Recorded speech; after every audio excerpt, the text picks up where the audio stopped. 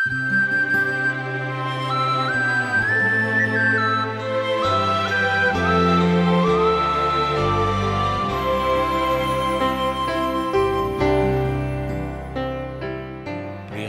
సోదరులారా ఈరోజు మన పాఠం హెబ్రి పత్రిక ఏడో అధ్యాయం పదకొండు నుండి పంతొమ్మిదో వచనం వరకు.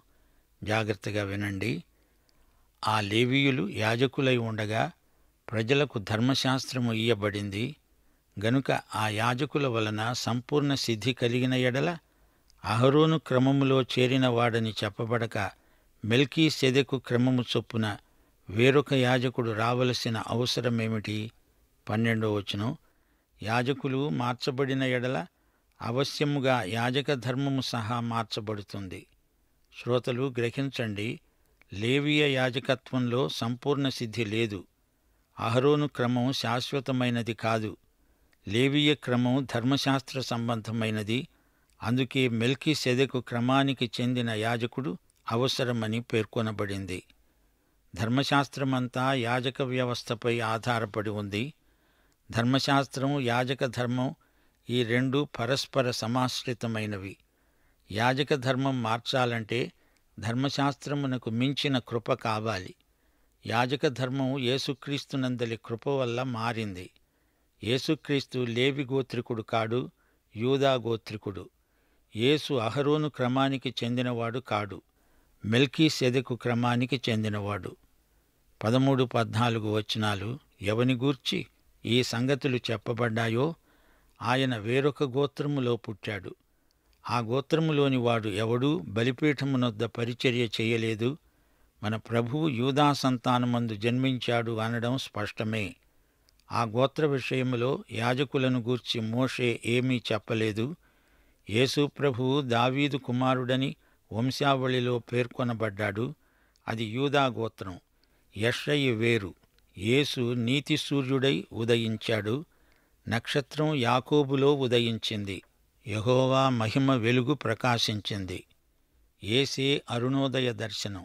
పదిహేను నుండి పదిహేడో వచనం వరకు శరీరానుసారముగా నెరవేర్చబడే ఆజ్ఞగల ధర్మశాస్త్రమును బట్టి కాక నాశనము లేని జీవమునకు ఉన్న శక్తిని బట్టి నియమింపబడి మెల్కీ సెదకును పోలినవాడైన వేరొక యాజకుడు వచ్చాడు. కావున మేము చెప్పిన సంగతి మరింత విషదమై ఉన్నది. ఏలయనగా నీవు నిరంతరము మెల్కీసెదెకు క్రమము చొప్పున యాజకుడవై ఉన్నావు అని ఆయన విషయమై సాక్ష్యము చెప్పబడింది. శ్రోతలు వింటున్నారా? పాత యాజకత్వం దాని తాలూకు ధర్మశాస్త్రం అంతా మార్చబడింది. ఎందుకనగా ఈ కొత్త యాజకుడు లేవి గోత్రికుడు కాడు. యూదా గోత్రికుడు. ఈయన యాజకత్వం పాత క్రమం కాదు ఇది కొత్తది. పాతదానికంటే ఇది ఉన్నతమైనది ఆధ్యాత్మికమైనది. నూట పదో కీర్తనలోని మెల్కీ సెదకు సంకేతం ప్రవచనాత్మకమైనది పద్దెనిమిది పంతొమ్మిది వచనాలు. ధర్మశాస్త్రము దేనికిని సంపూర్ణ సిద్ధి కలుగ చేయలేదు. గనుక ముందు ఇయ్యబడిన ఆజ్ఞ బలహీనమైనందున నిష్ప్రయోజనమైనందున అది నివారణ చేయబడి ఉన్నది. అంతకంటే శ్రేష్టమైన నిరీక్షణ దాని వెంట ప్రవేశపెట్టబడింది. దీని ద్వారా దేవుని యొద్దకు మనము చేరుతున్నాము. ధర్మశాస్త్రోక్తమైన యాజకత్వానికి నివారణ. క్రీస్తునందు అంతకంటే శ్రేష్టమైన నిరీక్షణ. ధర్మశాస్త్రము దేనిని చేయజాలకపోయిందో దాన్ని యేసు ప్రభువు చేశాడు. ధర్మశాస్త్రము విధించిన క్రియలను మించిన నీతి క్రీస్తునందు మనకు లభించింది. యేసుక్రీస్తు యాజకత్వం శాశ్వతం సంపూర్ణం సమగ్రం. దేవుని వాగ్దానం దేవుని ప్రమాణం. ఈ యాజకత్వానికి ఇదే ఆధారం. యేసు తరతరాల దేవుడు యుగయుగాలకు ఆయనే యాజకుడు. గమనించాలి యాజక ధర్మం దాని ధర్మశాస్త్రం అంతా మారింది. యూదాగోత్రమందలి యేసుక్రీస్తు మనకు ప్రధాన యాజకుడు. ఇది కొత్త పునాది. పాత నిబంధన యాజకులను వారి వంశాన్ని బట్టి తీసుకున్నారు. వారు లేవి అహరోను వంశికులై ఉండాలి. అయితే క్రీస్తు యొక్క అంతము లేని జీవమును బట్టి దేవుడు ఆయనను నియమించాడు. పాత యాజక ధర్మం బలహీనమై పనికిమాలినదైపోయింది. పాత వ్యవస్థ అహరోను క్రమం అది అసంపూర్ణమైనది. దేవునితో సంపూర్ణ సహవాసం దానివల్ల సిద్ధించలేదు. ఆ పాత వ్యవస్థ ప్రజలకు విమోచనాత్మకమైన సహవాసాన్ని ఇవ్వలేకపోయింది. పాత వ్యవస్థ గమ్యాన్ని ఆదర్శాన్ని చేరలేకపోయింది. అందుచేత అందరికీ క్రీస్తు ఆయన యాజకత్వం కావాలి మరో మార్గం లేదు. యాజకత్వం మారింది ధర్మశాస్త్రం మూగబోయింది. మనమిప్పుడు మోషే ధర్మశాస్త్రం క్రింద లేము ధర్మశాస్త్రం అహరోను యాజకత్వానికి సంబంధించింది. అప్పటి వ్యవస్థలో జంతుబలులు అర్పించారు. యేసు ప్రభు లేవిగోత్రికుడు కాడు గనుక ఆ క్రమంలో ఆయన ఇక్కడ యాజకుడు కాడు. అందుకే యేసుక్రీస్తు మెల్కీ సెదెకు క్రమానికి చెందిన శాశ్వత యాజకుడు. నూట పదో కీర్తన ప్రవచనం ఇదే. యేసుక్రీస్తు చనిపోయి తిరిగి లేచిన పునరుత్నుడు ఆయన జీవం అనంతం శాశ్వతం. మోషే ధర్మశాస్త్రం విరమించుకుంది దాని కాలం తీరింది. అది మానవునికి సంపూర్ణతను ఇయ్యలేకపోయింది. మనం దేవుని వద్దకు క్రీస్తు ద్వారా మాత్రమే రాగలం. యేసుక్రీస్తు నిత్యయాజకుడు పరిపూర్ణత గల యాజకుడు. ఈ మహాయాజకుడు మనలను రక్షించినవాడు. దేవుడు మనలను ఆదాములో నుండి తీసి క్రీస్తులో పెట్టాడు. రెండు కొరింతి ఐదో అధ్యాయం పదిహేడో వచనం ఎవడైనను క్రీస్తునందున్న ఎడల వాడు నూతన సృష్టి పాతవి గతించాయి ఇదిగో క్రొత్తవి అయ్యాయి. మనం ఆదామీయులము కాము సజీవుడైన క్రీస్తుకు చెందినవారం అహరోను యాజకత్వానికి మెల్కీ సెదెకు యాజకత్వానికి ఉన్న తారతమ్యాన్ని గుర్తించాలి. ధర్మశాస్త్రం బలహీనపరుస్తుంది కృపాశక్తి బలపరుస్తుంది. ఆజ్ఞ బాహిరమైనది జీవం అంతర్గతమైనది. శరీరం తాత్కాలికం దేవుని జీవం అనంతం. ఇది మారుతుంది గాని అది మారదు. ఇది బలహీనమైనది నిష్ఫలమైనది. అది మనలను దేవుని సన్నిధికి చేరుస్తుంది. ఇది అసంపూర్ణం అది గొప్ప నిరీక్షణ సంపూర్ణం. ప్రియశ్రోత నీ సంగతి నీ సాధక బాధకాలు ఆయనకు బాగా తెలుసు. ఆయనకు తెలిసినంత నిన్ను గూర్చి నీకే తెలియదు. ఆయన రాజు యాజకుడు. ఆయన కృపాసనము వద్దకు నిరీక్షణ గలిగి ప్రవేశిస్తాము. యషయా గ్రంథం ముప్పై రెండో అధ్యాయం పదిహేడో వచనం నీతి వలన సమాధానం కలుగుతుంది. ఎడతెగని పరిపక్వత దిశగా మనం పరిపూర్ణులమవటానికి సాగిపోదాము. హెబ్రి పత్రిక ఏడో అధ్యాయం పదహారో వచనం మరోసారి గమనించండి. శరీరానుసారముగా నెరవేర్చబడే ఆజ్ఞగల ధర్మశాస్త్రమును బట్టి కాదు నాశనము లేని జీవమునకున్న శక్తిని బట్టి మెల్కీ సెదెకును పోలినవాడైన వేరొక యాజకుడు వచ్చాడు. ధర్మశాస్త్రానికి శక్తి లేదు ఆజ్ఞకు జీవం లేదు. శరీరానికి శాశ్వతత్వమూ లేదు. యేసుక్రీస్తు యాజకత్వం శాశ్వతమైనది. యేసుక్రీస్తు తాను మనకు ప్రధాన యాజకుడై మన నైతిక ఆధ్యాత్మిక శీలాన్ని బలపరచగలవాడు. ఆయన శక్తి విమోచనాత్మకమైనది. సానుభూతి గలవాడు. ఆయన మాత్రమే మనకు మహాప్రధాన యాజకుడు. ధర్మశాస్త్రపు ఆజ్ఞను బట్టి కాదు ఆయనలో ఉన్న జీవశక్తిని బట్టి ఆ పదవిలో ఉన్నాడు. ఆజ్ఞ అనేది ధర్మశాస్త్రములోనిది యాజక నియామకం ధర్మశాస్త్రము యొక్క ఆజ్ఞను బట్టి జరుగుతుంది. అహరోను క్రమమే పాటించబడుతుంది. కాని యేసు ఈ లేవి అహరోను క్రమమునకు చెందిన యాజకుడు కాడు. యేసు యొక్క యోగ్యత ఆయనలోని సజీవ శక్తి ఆత్మశక్తి. ఆయన యొక్క మహాపరిశుద్ధత అపార ప్రేమ చెప్పశక్యము కాని ఆయన కనికరం ఇవి ఆయన యోగ్యతలు. యేసుప్రభు యాజకత్వం తాత్కాలికం కాదు అది శాశ్వతమైన పరిచర్య. శరీరానుసారముగా నెరవేర్చబడే ఆజ్ఞ కాదిది శరీరానుసారమైనది ఏ తరానికి ఆ తరమే. మరో తరానికి యాజకుడు మరొకడు. కాని ఏసుకున్న శక్తి నాశనము లేని జీవశక్తి. మెల్కీసెదెకు క్రమములో వచ్చిన నిత్య యాజకుడాయన ఆయన నిరంతరము సజీవుడైన యాజకుడు. పాపం బలమైనదైతే ఆయన రక్షణ అంతకంటే బలమైనది. ఆయన మానవులను సంపూర్ణముగా రక్షించగల సమర్థుడు ఆయన జీవం సృజనాత్మకం పునఃసృష్టి చేసే జీవం. ప్రధాన యాజకుడు తన శక్తి మనకిస్తాడు విశ్వాసమందు ఆయనతో సమైక్యమైన వారికి ఆయన శక్తి సంక్రమిస్తుంది. ఆయనకు వేరై ఉండి మనము ఏమీ చేయలేము. మనలను బలపరిచే క్రీస్తునందు మనము సమస్తము చేయగలం. పంతొమ్మిదవ వచనం. ఆ ధర్మశాస్త్రము దేనికి సంపూర్ణ సిద్ధి కలుగ చేయలేదు. గనుక ముందు ఇయ్యబడిన ఆజ్ఞ బలహీనమైనందున నిష్ప్రయోజనమైనందున అది నివారణ చేయబడింది. దానివల్ల సంపూర్ణ సిద్ధి కలుగదు. అది కేవలం నిష్ప్రయోజనం. దానికి కాలదోషం పట్టింది. ధర్మశాస్త్రం అంటే ఆచారాలకు బలి అర్పణలకు సంబంధించింది. నైతికమైన కట్టడలు కాదు బల్యర్పణలకు చెందిన ఆచారాలు కట్టుబాట్లు. అవి కొత్త నిబంధన రావటంతో నిరర్ధకమైపోయాయి. ధర్మశాస్త్రమును నెరవేర్చిన ప్రభువు అందలి నైతిక ప్రమాణాలను మించి మన చేత చేయిస్తాడు. అయితే పండగలు బల్యర్పణలు క్రీస్తు శిలువ మరణంతో రద్దయిపోయాయి. ధర్మశాస్త్రము యొక్క అశక్తతను గుర్తించండి. ధర్మశాస్త్రము బలహీనమైనది అది సంపూర్ణతను కలిగించజాలదు.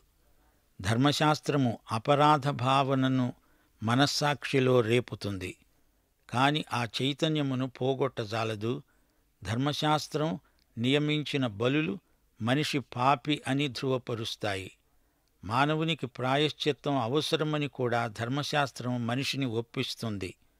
మనస్సాక్షిలోని అపరాధ భావన తాలూకు విషాదాన్ని ధర్మశాస్త్రం తుడిచివేయజాలదు. పాపక్షమాపణానుభూతి లేనందుచేత పాపి హృదయంలో శాశ్వతమైన శాంతి కలగదు. ఉపశాంతి తాత్కాలికమే. మానవునికి దేవునికి మధ్యవర్తి అవసరమని ధర్మశాస్త్రం వ్యక్తం చేస్తుంది. కాని అట్టి సదుపాయం ధర్మశాస్త్రం కల్పించజాలదు. యూదమతంలోని యాజకులు తాము పాపులము అని ఎరుగుదురు. తమ కొరకు తామే పాప పరిహార బలులు అర్పించవలసి ఉంది. వారు మనుషులే చనిపోవలసిన వారే. అందరిలాగే తమకు మరణం తప్పదు. ధర్మశాస్త్రం మానవుని ఆదర్శమేదో చూపగలదు గాని ఆదర్శ సిద్ధిని సంతరించజాలదు. ధర్మశాస్త్రం పాపాన్ని ఖండిస్తుంది. నీతి మార్గంలో నడువు అంటుంది కాని నడిపించలేదు. మంచి చెయ్యాలని ఉన్నా అది చేయలేని స్థితిలో ఉన్న వ్యక్తి ధర్మశాస్త్రం చేత ఎట్టి సహాయము పొందజాలడు. రోగ నిర్ధారణ చేయగలదు గాని ధర్మశాస్త్రం రోగాన్ని కుదర్చజాలదు. ఆత్మను రక్షించజాలదు బలపరచజాలదు పవిత్రీకరించజాలదు. రోమాపత్రిక ఎనిమిదో అధ్యాయం రెండో వచనం ధర్మశాస్త్రము దేనిని చేయజాలకపోయిందో దానిని దేవుడు నెరవేర్చాడు. ధర్మశాస్త్రం మంచిదే గనుకే తాను చెయ్యజాలకపోయినా అంతకంటే శ్రేష్టమైన నిరీక్షణను తన వెంట తెచ్చింది. దాని ద్వారా దేవుని యొద్దకు మనము చేరుతున్నాము. ధర్మశాస్త్రం నిరీక్షణకు మార్గం ఏర్పరిచింది.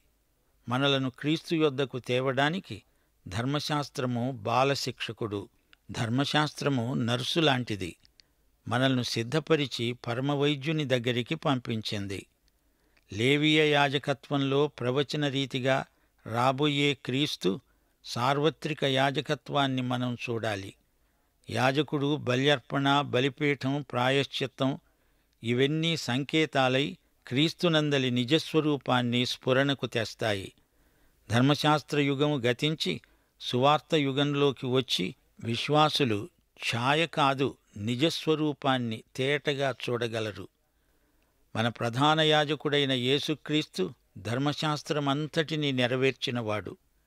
ధర్మశాస్త్రానికి ఆయన విధేయుడయ్యాడు.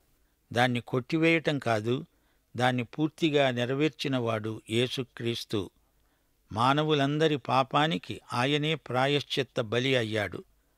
పరలోకములో మన పక్షాన విజ్ఞాపన చేస్తున్నాడు. మనకంటే ముందుగా ఆయన తెరదాటి పరలోకంలోకి వెళ్ళాడు. ఆయన వెంట మనము నిర్భయంగా వెళ్ళగలము. ఆయన స్థిరమైన పునాది యుగయుగముల శిల. ఏసే మన నిరీక్షణ కేంద్రం. ఈ శుభ నిరీక్షణ మనల్ను ఆయన వద్దకు తెస్తున్నది. యూదుల యాజకులు ప్రజలను దేవుని నుండి దూరంగానే ఉంచారు. అయితే ప్రజలను తన దగ్గరికి రమ్మంటున్నాడు యేసు ప్రభు. ఆయన వద్దకు వచ్చేవారిని ఆయన ఎంతమాత్రమూ తోసివేయడు. పశ్చాత్తప్తుల పాపాలు ఆయన క్షమించగలడు క్షమిస్తాడు. ప్రియశ్రోతలు మెస్సియా యాజకత్వం మరే యాజకత్వం కంటే కూడా ఉన్నతమైనది. పాత వ్యవస్థలోని జంతుబలులు మరల మరల అర్పిస్తూ ఉండాలి. అవైనా తాత్కాలికమైన ఉపశాంతికే సంపూర్ణ సిద్ధికి ఉద్దేశించినవి కానే కావు. క్రీస్తు బలి ఒకేసారి అర్పించబడింది దాని ద్వారా శాశ్వతమైన పాప క్షమాపణ ప్రాప్తిస్తుంది. కొత్త నిబంధన ప్రకారం క్రీస్తు శాశ్వత యాజకత్వాన్ని పురస్కరించుకొని లేవీయ యాజకత్వం రద్దయిపోయింది. ధర్మశాస్త్రము ప్రజలను రక్షించడానికి ఉద్దేశించింది కాదు మానవుల పాపాలను వేలిపెట్టి చూపుతుంది ధర్మశాస్త్రం. రోమాపత్రిక మూడో అధ్యాయం ఇరవయో వచనం అలాగే ఐదో అధ్యాయం ఇరవయో వచనం. ధర్మశాస్త్రము వలన పాపమనగా ఎట్టిదో తెలుస్తుంది. అపరాధము విస్తరించున్నట్లు ధర్మశాస్త్రము ప్రవేశించింది. ధర్మశాస్త్రమే లేకపోతే పాపము ఎంత ఘోరమైనదో తెలియదు. అదే సమయంలో ధర్మశాస్త్రం క్రీస్తు వైపు చూపుతుంది. మనము విశ్వాసమూలమున నీతిమంతులమని తీర్చబడినట్లు క్రీస్తు యొద్దకు మనలను నడిపించడానికి ధర్మశాస్త్రము మనకు బాలశిక్షకుడైంది. అయితే విశ్వాసము వెల్లడి అయింది గనుక ఇక బాలశిక్షకుని క్రింద ఉండము. రక్షణ క్రీస్తు ద్వారా మాత్రమే కలుగుతుంది. మన పాపాలకు క్షమాపణ యేసుక్రీస్తు యొక్క బలి ద్వారానే సిద్ధించింది. మనిషి ఫోటోను చూచి ఆ మనిషి రూపురేఖలు గుర్తించగలం. అలాగే పాతకాలపు మోషే నిబంధన ఒక ఫోటో లాంటిది ఛాయాచిత్రం అయితే మెస్సియా నిబంధన కొత్తది. ఇది సజీవ నిజస్వరూపం. యేసుక్రీస్తు యొక్క నీడే పాత నిబంధన వ్యవస్థ. అపరాధ భావన గల మానవుడు నైవేద్యాలు బలులు అర్పించాడు. అయితే పాపరహితుడైన క్రీస్తు తానే పాప పరిహార బలి అయ్యాడు. ఇది కొత్త నిబంధన. క్రీస్తు నీ కొరకు నా కొరకు చనిపోయాడు. భౌతికమైన దేవాలయంలో దేవుణ్ణి ఆరాధించారు. అది పాతది. విశ్వాసి హృదయంలో క్రీస్తు ఉండి పరిపాలిస్తున్నాడు. ఇది కొత్త ఏర్పాటు. మరో మధ్యవర్తి లేకుండా దేవుడు క్రీస్తు ద్వారా నీ హృదయంలోకి నేరుగా ప్రవేశిస్తున్నాడు. పాత వ్యవస్థ మాదిరైతే కొత్తది వాస్తవం. తాత్కాలికం కాదు ఇది వాస్తవం. పాతకాలపు వాగ్దానాలు పరిమితమైనవి. అయితే కొత్త విధానం ప్రకారం వాగ్దానాలు ఎన్నెన్నో వాగ్దాన ఫలం క్రీస్తునందే మనకు ప్రాప్తిస్తుంది. క్రీస్తు బలి ఒకేసారి జరిగింది అదే చిట్ట చివరిది సంపూర్ణమైనది. దేవునితో ఎడతెగని సంబంధ సహవాసాలు మనకు కలుగుతాయి ఇది కొత్త ఏర్పాటు.